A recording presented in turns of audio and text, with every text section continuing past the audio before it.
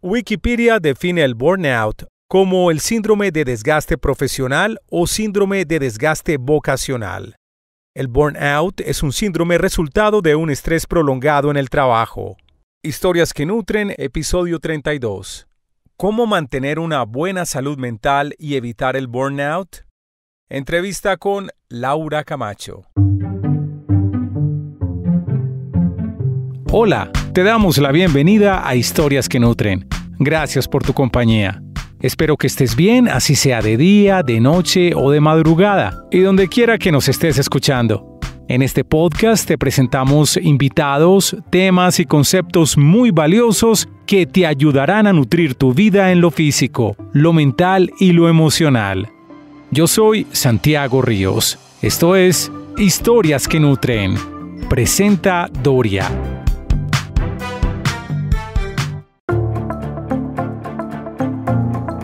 Trabajar en una empresa grande y reconocida ha sido el sueño de muchos profesionales. Todos, de alguna manera, hemos anhelado en algún momento de nuestras vidas en hacer parte de una de esas corporaciones de las que todo el mundo no solo habla, sino de las que también somos clientes y a veces fanáticos. Nos encantan porque son empresas innovadoras que cambian el mundo y al final cambian nuestras vidas. Son marcas tan reconocidas que trabajar allí da un estatus particular. Eso sin contar los beneficios salariales, el crecimiento profesional y complementos extralaborales como comida gourmet gratis, actividades lúdicas y buenos bonificados por cumplimiento de metas. ¿Alguien quiere renunciar a todo eso tan deseable? Para ser más exactos, ¿alguien quiere renunciar a una de las empresas más reconocidas del mundo, como lo es Google? Nuestra invitada a este episodio lo hizo.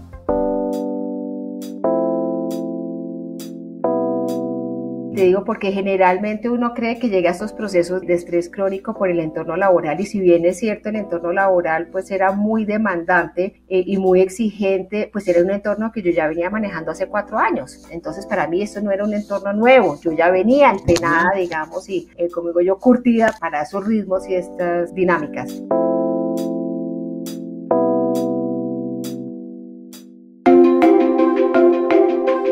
Ella es Laura Camacho ex country manager de Google en Colombia. Después de 30 años de una carrera exitosa en el mundo corporativo, fue víctima del burnout, comprometiendo seriamente su salud física, mental y emocional, truncando muchos sueños profesionales y personales. Hoy, después de haber recorrido su propio proceso de recuperación y haberse certificado como Health Coach, entendió que su misión es ayudar a las personas y las organizaciones a prevenir el burnout, identificando oportunamente los detonadores, actuando sobre ellos y empoderando al individuo con herramientas que le permitan tomar el control de su salud para lograr un balance entre su vida laboral y personal. En este episodio, Laura nos comparte su historia y sobre todo cómo mantener una buena salud mental y evitar el burnout. Historias que nutren. Laura Camacho.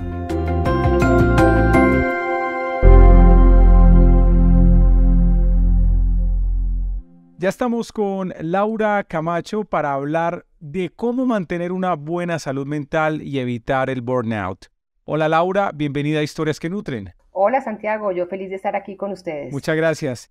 Oye, trabajar en una empresa grande y reconocida ha sido el sueño de muchas personas y tú lo lograste trabajando en una de las empresas más reconocidas en el mundo como lo es Google. Comparte un poco esa historia de cómo llegaste a este gigante de la tecnología y este referente. Bueno, lo primero que hay que aclarar es que aun cuando Google es una compañía de tecnología, su modelo de negocio es eh, la venta de publicidad en línea. Y precisamente por esas razones que terminé yo trabajando en Google. Yo trabajé por más, en ese momento ya llevaba más de 25 años trabajando en la industria publicitaria para grandes firmas, para grandes compañías como Net. Después trabajé en el área de medios, en Starcom, que era una central de medios. Entonces tenía un conocimiento bastante interesante, una experiencia muy relevante en el mundo de la publicidad. ¿Cómo llego yo a ese proceso? Un día recibí una llamada de un headhunter que me dijo, mira, hay una compañía de tecnología que va a abrir sus oficinas en Colombia, quiere participar en el proceso. Y yo, pero ¿qué hace una compañía de tecnología llamando a una comunicadora social, publicista, pues, a participar en este proceso? Y la verdad me le medí, fue un proceso interesantísimo porque de esos de ese proceso los primeros tres meses yo no sabía para qué compañía estaba aplicando. Me hicieron todas las pruebas, entrevistas, hasta que un día me dijeron, bueno, ahora sí le vamos a contar, es Google. Yo, ¿cómo? Google no puede mm. ser. Y ahí comienza el proceso dentro de Google, que también fue supremamente largo, ¿no? Fueron ocho meses de entrevistas y de proceso hasta que recibí la llamada y me dijeron, vengas a trabajar con nosotros.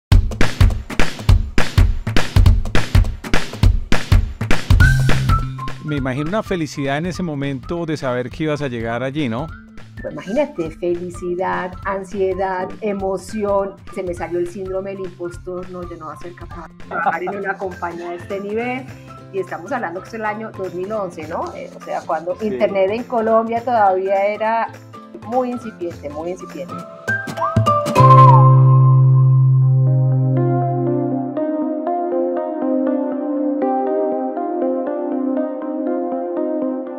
Estando en Google, ¿cómo este paso por esta empresa se convirtió en un episodio difícil para ti? ¿Qué fue lo que pasó en el transcurrir en Google?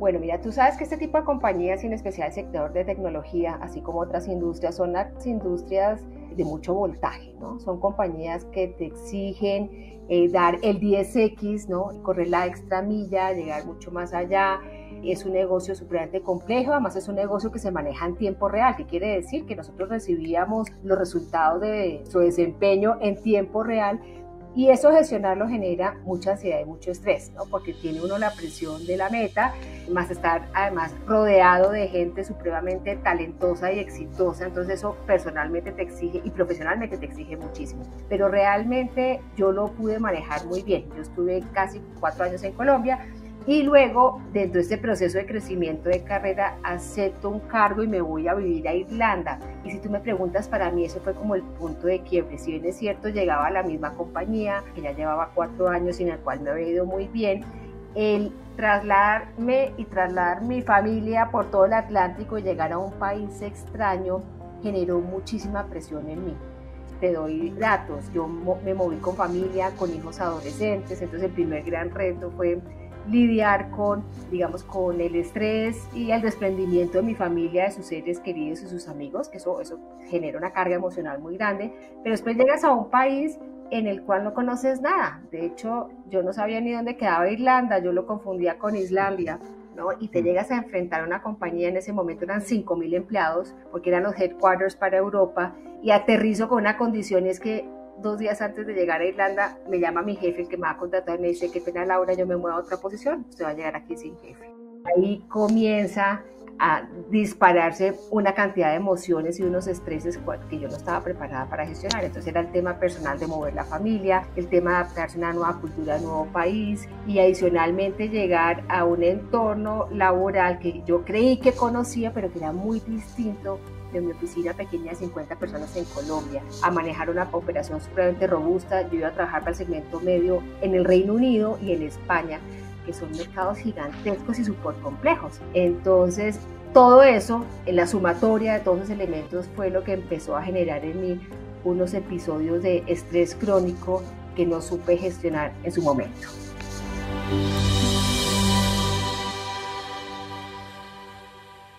Óyeme, pero fue como más el entorno que fue causando en ti como ese estrés generalizado o había unas condiciones de trabajo puntualmente dentro de la empresa que te afectaron o fue más un asunto tuyo o fue una sumatoria de hechos en todo el contexto?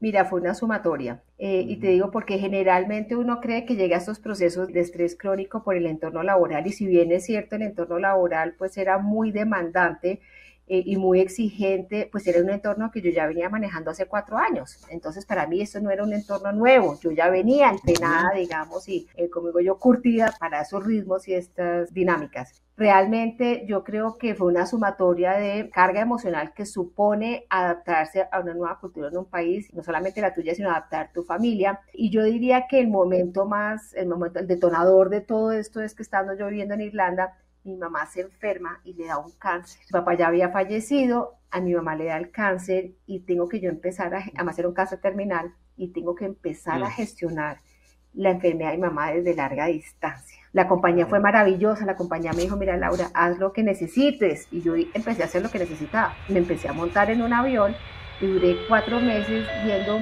Bogotá, Irlanda, Irlanda, Bogotá.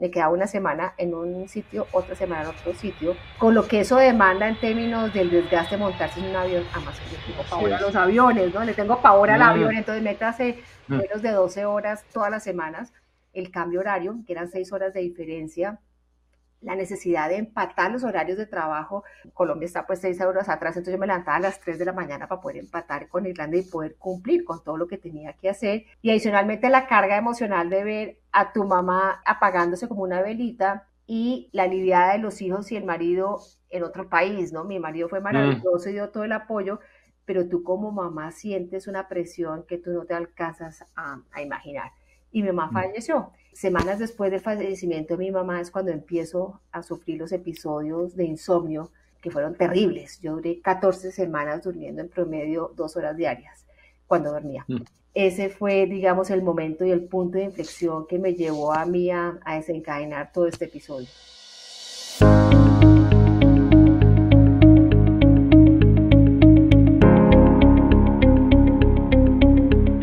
Aquí es donde nos puedes contar cuál es la definición o cómo defines tú el burnout y de alguna manera presentar cuáles son esos síntomas del burnout. Ya acabas de mencionar el insomnio, pero ¿por qué no nos expandes en este concepto, por favor? Mira, el burnout en español se llama síndrome de agotamiento laboral. Yo prefiero utilizar la palabra burnout porque lo que he aprendido en todo este proceso es que no necesitas estar trabajando en una organización para desarrollar esta condición. ¿Listo? Entonces el síndrome de agotamiento laboral es una situación que se da por una exposición crónica al estrés y que tiene tres grandes características o tres grandes momentos. El primero es un agotamiento físico, mental y emocional. Es cuando la persona literalmente no puede con su vida, no puede levantarse, siente la energía perfectamente drenada, no puede concentrarse, eh, realmente vive con un agotamiento permanente, ¿no? Te levantas cansado, te levantas cansado, no importa lo que trates de descansar, te levantas cansado. Pero hasta ahí uno podría decir que la persona está estresada y está cansada. Realmente cuando se empieza a ver que hay síntomas de burnout es cuando entras a la fase 2 y esa fase 2 se llama la fase de la despersonalización. ¿Qué quiere decir? Es cuando las personas están tan agotadas que no logran conectarse emocionalmente con lo que usualmente era importante para ellas. Te explico. Si yo era una persona súper pila en el trabajo, es cuando empiezo a decir, ¿sabe qué? Deje así. Si yo no pude entregar el trabajo, no importa si no pude ser excelente, no importa, empieza a fallar, empieza el ausentismo, empieza eh, la persona que era súper alegre y súper dinamizadora en las oficinas y empieza a ser la nubecita negra, la que todo lo critica, lo que ve todo oscuro. La persona que se empieza a aislar en esta segunda fase es tal el cansancio que la persona no se puede, socialmente no puede conectar, entonces empieza a aislarse. Lo doy de ejemplo, en mi caso, yo cumplí años y yo soy de las que celebra el cumpleaños todo el año. A mí me fascina celebrar el cumpleaños, me encanta celebrar la vida y ese cumpleaños de ese año yo le dije a mi marido, yo no quiero hacer nada, no quiero ver a nadie, vamos a comer los cuatro y punto. Eso era un comportamiento atípico para lo que era yo. Entonces la persona empieza a desconectarse y se empieza a aislar y cuando la persona se empieza a aislar pues es muy difícil ayudarla porque nadie se da cuenta de lo que está pasando, simplemente no hay presencia. La tercera fase es cuando ya la persona, digamos que todo ese aislamiento y todo ese detachment que llaman los gringos, esa forma de desconectarse, empieza a pasarle a una factura porque obviamente empieza a comprometer el desempeño laboral, eh, las relaciones familiares, las relaciones personales y empieza a desencadenar una cantidad de episodios que lo hacen sentir a uno muy mal y empieza uno con los sentimientos de frustración de esto me quedó grande, no fui capaz, empiezan los sentimientos de culpa y cuando la persona ya llega a ese punto, podemos decir cuando ya ha pasado por esas tres fases, la persona ya está burnout, ¿no? Entonces es importante aclarar lo que la gente visualmente confunde el burnout con el estrés.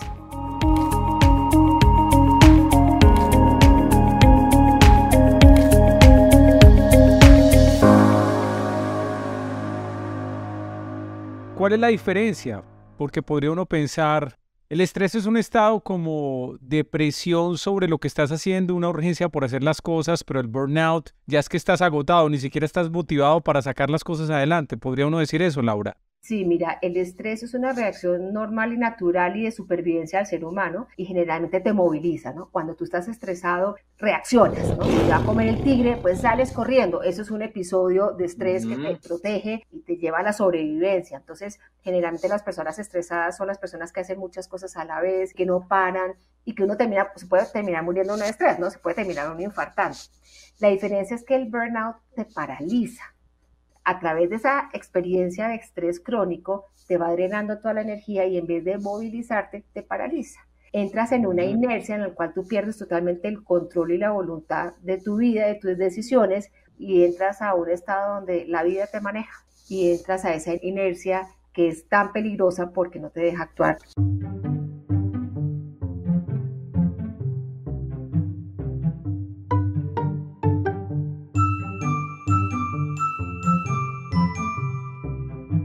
Ahora sí creo que nos puedes contar entonces cómo mantener una buena salud mental y evitar el burnout, partiendo sobre todo del hecho de que viviste esa experiencia y que tienes ahora una compañía que se dedica a ayudar a la gente a evitar el burnout. Entonces, ¿por qué no nos das como, no sé si un decálogo, unas cinco o seis recomendaciones básicas para evitar el burnout? Mira, lo primero es tener conciencia que el burnout trasciende la salud mental e implica una autogestión de la salud de una manera integral por parte del individuo. ¿Qué quiere decir? Lo primero es que te tienes que cuidar tú mismo. Si, nadie, si tú no te cuidas, nadie va a cuidarte a ti. Cuando hablamos de cuidado, tienen elementos importantes. Por ejemplo, la nutrición. Está comprobado que lo que tú comes está asociado con tu estado de ánimo. Los picos de insulina que se generan en el cuerpo cuando comes muchos carbohidratos que no son complejos, te generan unas, se te dispara estos eh, niveles y te pueden generar ansiedad, te puede generar depresión, te puede generar mal genio. Entonces lo primero es saber que uno tiene que tener un cuidado con lo que come y preferir lo que se llama una dieta de bajo índice glicémico, que quiere decir preferir aquellos alimentos que se procesan mucho más dentro en el organismo y que permiten de alguna manera una regulación controlada la glicemia en el organismo. Eso es, digamos, lo primero. Lo segundo es el ejercicio.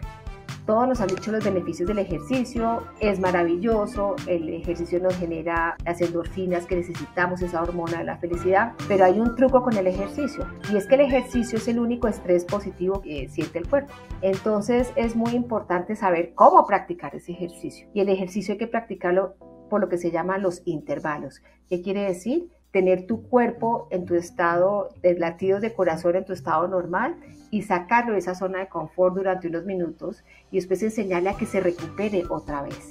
Entonces no es que uno salga a correr un maratón donde no está corriendo a 2000 por hora todo el día, sino intercalar lo que son los intervalos normal de frecuencia cardíaca y después sacarlo tu zona de confort para que el cuerpo aprenda a recuperarse, ¿no? Entonces subir y bajar. Tres minutos de alta intensidad, dos minutos de baja intensidad. Y puedes ir subiendo, digamos, las frecuencias, pero manteniendo los ciclos de alta y baja intensidad. El tercer tema es el tema del sueño, que es importantísimo. Si tú me dijeras a mí, para mí el sueño y la higiene del sueño es el más importante porque una persona que no duerme es una persona que no funciona. Entonces, en el tema del sueño hay unos principios básicos que se llaman la higiene del sueño. Si tú me preguntas a mí, hay dos que son fundamentales. Uno, la desconexión de tecnología. Uno tiene que desconectarse por lo menos 90 minutos antes de acostarse. Nada de televisión en el cuarto, nada de cargar los celulares en el cuarto, esa lucecita azul. Y les voy a explicar por qué, porque es importante tener en cuenta. No solo porque a través de la tecnología estamos consumiendo un pocotón de información que nuestro cerebro no alcanza a procesar antes de acostarse, sino que adicionalmente las pantallas emiten una, línea, una luz azul y esa luz azul interfiere en la producción de melatonina, que es la hormona del sueño. Nosotros somos unos seres que vamos circulando con la luz del sol. Eh, sobre todo en los países donde tenemos 12 horas de oscuridad y 12 horas de luz, como son los países del trópico, nuestro cuerpo cuando apenas empieza a bajar la luz del sol y empieza a oscurecer, nuestro cuerpo empieza a generar la melatonina para mandarle una señal al cuerpo y decirle, ¿sabe que es momento de dormir? Vamos a dormir. Si tú consumes tecnología y estás conectado a pantallas, esa luz azul bloquea totalmente la producción de melatonina. Entonces, una invitación a todos es, de todas las higienes del sueño, de todas las prácticas que hay, la más importante es conectarse por lo menos 90 minutos y erradicar la tecnología del cuarto momento de dormir. Pero eso es la parte física. Hay claro. ¿no? Solamente esa es la parte física, las recomendaciones, que es muy importante, la protección de los vínculos emocionales. Yo te conté, en la fase 2 la gente tiende a desconectarse, ¿no? Desconectarse la gente que quiere, los proyectos que quiere, lo que le emociona, lo que le mueve. Entonces es muy importante ser intencional en cómo proteges tú tus relaciones, cómo te conectas con los otros. No sé si tú has oído el tema de las zonas azules, ¿has oído el proyecto de las zonas azules? Bueno, las zonas azules es una investigación que hizo un periodista de la National Geographic sobre longevidad fue visitando todo el mundo y en todo el mundo empezó a identificar cinco culturas muy distintas donde teníamos las personas más longevas, entendido como longevidad no solamente en edad, sino en bienestar, ¿no? O sea, viejitos, sanos. Sanos. Las cinco culturas eran distintísimas, una en la mitad en un pueblito de los Estados Unidos, lo otro en Japón, lo otro en Chile, bueno, eran ciudades y culturas muy distintas. Y lo que se llegó a la conclusión es que lo único que había en común, o unas cosas que había en común, es que era gente que vivía en comunidad. Entonces, el vivir en comunidad, en proteger tus relaciones, proteger tus vínculos afectivos es supremamente importante. Y en el caso mío, dos cosas más que funcionaron muy bien y que me dieron una, una estabilidad impresionante y que me ayudaron a recuperar. La primera fue la práctica de la gratitud. La gratitud es muy importante porque te cambia el foco, ¿cierto? La cabeza no tiene opción de pensar en dos cosas al mismo tiempo pero tú sí tienes la capacidad de elegir en qué quieres pensar. Si tú te focalizas en lo malo, en lo que no tienes, en lo que te falta, en lo que te equivocaste, pues vas a desarrollar una serie de emociones negativas. Pero si tú te focalizas en dar las gracias por lo que tienes, por apreciar cada detalle, es maravilloso. Entonces yo empecé cuando estuve en la crisis, compré un cuadernito divino. Yo soy de ponerle stickers y todas las cosas. Me fascina scrapping books. Hice mis scrapping books sobre la gratitud. Y cada día yo me levantaba buscaba una o dos cositas por las cuales tuviera gratitud ese día, o lo hacía al final del día, ¿no? Qué cosas maravillosas se han pasado al día. Y podía hacer cosas trascendentales, como cosas simplemente que me comí un postre delicioso, que, tenía la salud y la posibilidad de hacer eso. Entonces, en ese tipo de situaciones, eh, cuando tú lees, te empieza a cambiar el cerebro y la percepción ante la vida, porque empiezas a ver las cosas positivas que tiene la vida. Y el último elemento que para mí fue fundamental fue el servicio social, apoyar a otras personas. Cuando tú empiezas a cambiar el foco de ti mismo y lo pones en otra persona y empiezas a desarrollar esa habilidad de impactar positivamente la vida de otros, tu perspectiva de tu realidad cambia y empiezas a generar una cantidad de elementos positivos en mi vida. Entonces, si tú me preguntas, esas fueron como mis cuatro grandes estrategias, mi cuidado físico, mi cuidado emocional, mi cuidado espiritual y entendido como espiritual esa capacidad de aportar y vincularme con nosotros. Fantástico. Obviamente, cuando estaba sufriendo ese episodio de burnout, se afectaba, y bien lo comentaste, se afectaba tu vida familiar. Entonces, aparte de estas recomendaciones tan valiosas que acabas de compartir, ¿cómo se logra un equilibrio entre vida laboral y vida personal y familiar? Yo diría que lo primero es tener muy claro que aunque uno puede, uno no debe tener todo. ¿Qué quiere decir? Uno tiene que tener muy clara su lista de prioridades y hacer apuestas, como llamo yo, y entender que aunque uno quisiera tener todos los elementos de su vida equilibrados y al 200%, no, hay que hacer renuncias. Te voy a explicar eh, un ejemplo. Yo era súper ejecutiva, súper mamá, súper hija, porque yo era mamá, hija, ejecutiva, súper hermana, súper amiga. Yo le cumplía a todo el mundo y ponía a todo el mundo delante de mí y lo disfrutaba mucho, digamos, era parte de mi esencia, pero yo tuve que entender que había cosas que no podía darles prioridad. Entonces entendí, por ejemplo, que en Irlanda, que uno no tiene quien le ayude en la casa, pues las labores de la casa, pues, pues no me iba a trasnochar si mi casa no estaba perfecta.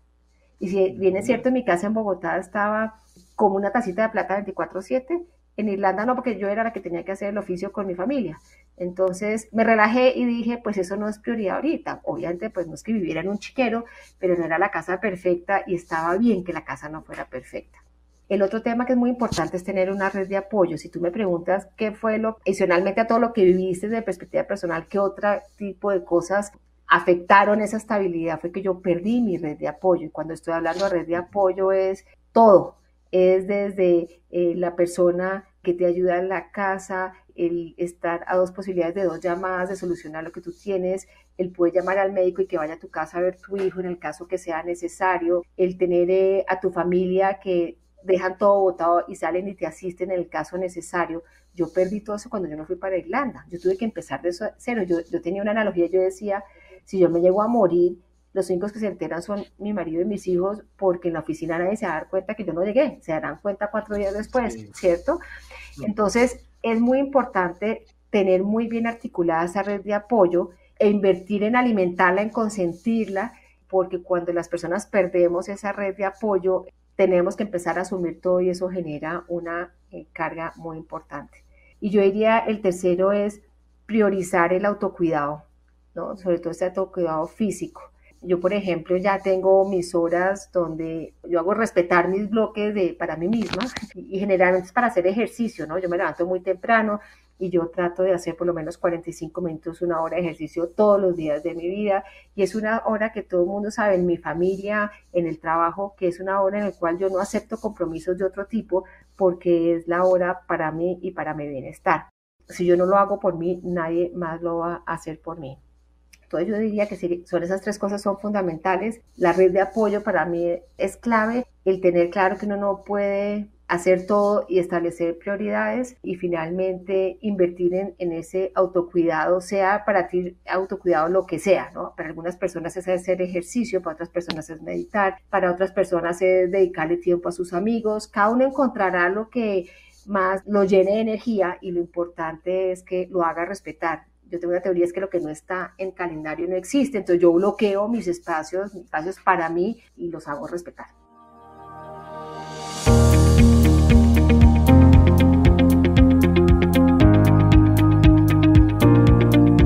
Obviamente ahora desde tu empresa Reset Now estás ayudando a otros a evitar el burnout y a mejorar la calidad de vida. Cuéntanos un poco más de lo que hace tu empresa, Laura un poquito de contexto, cuando yo pasé por todo este episodio de Google, yo el resultado fue que yo tuve que terminar renunciando a Google. Desafortunadamente, el proceso al cual yo llegué ya estaba tan avanzado y tan desarrollado que cuando la compañía se ofreció darme todo el apoyo ya era un poco tarde, ¿no? Porque yo, digamos, viví este proceso en mucha soledad.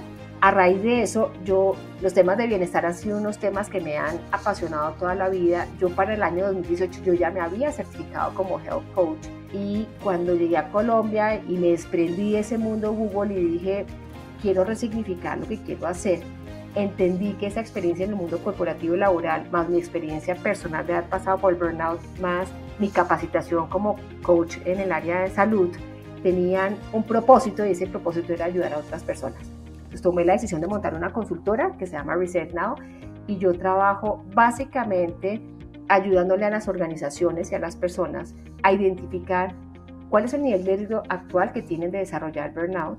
Tengo unas herramientas y unas dinámicas para entender e identificar qué lo está detonando, porque es importante. Esto es multifactorial, ¿no? Esto no es que sea que solamente un tema le genera a uno el burnout o el estrés crónico, no, esto es multifactorial. Entonces hay que entender cuál es el contexto que está generando ese estrés crónico. Y una vez ya se detecta esto, empezamos a trabajar en cómo minimizamos esos detonadores. Puede que no los eliminemos porque hay cosas que podemos controlar, otras cosas que no podemos controlar, pero sí se puede minimizar muchísimo esa exposición crónica al estrés.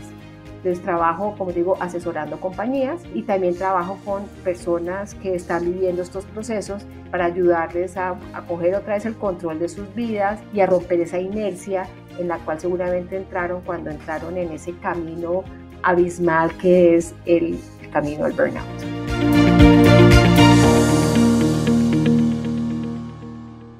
Laura, ¿hay algo que no te haya preguntado en esta conversación y que quieras complementar, algo que quieras decir adicional a todo lo que has compartido? Eh, mira, yo creo que eso sería una invitación a los empresarios. Hablemos de estos temas a nivel organizacional.